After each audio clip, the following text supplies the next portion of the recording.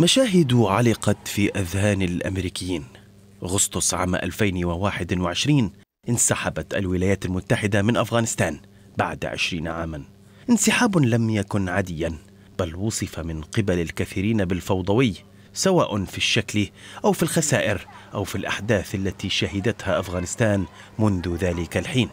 فبعد أكثر من ثمانية عشر شهرا على الواقعة قرر عدد من نواب الكونغرس بدء تحقيق حول الانسحاب الأمريكي من أفغانستان.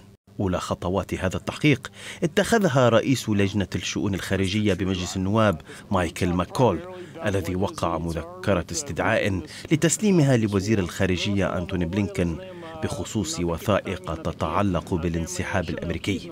وأمهل ماكول الذي ينتمي للحزب الجمهوري وزارة الخارجية حتى يوم الاثنين للكشف عن الوثائق.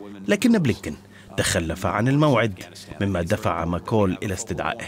خطوة أخذها النائب الجمهوري بعد أيام فقط من تصريحات لبلينكن أكد فيها أن الخارجية الأمريكية كشفت بالفعل عن المعلومات وتعمل على تقديم المزيد لكنه امتنع عن الكشف عن بعض التفاصيل الدقيقة إلا لمسؤولين كبار وذلك لأسباب أمنية. أسرار يرى الجمهوريون وبعض الديمقراطيين أن على الخارجية كشفها لتبيان جزء من الحقيقة خاصة أن 13 جنديا أمريكيا راحوا ضحية الانسحاب في مطار كابول كما باتت أفغانستان برمتها في قبضة طالبان.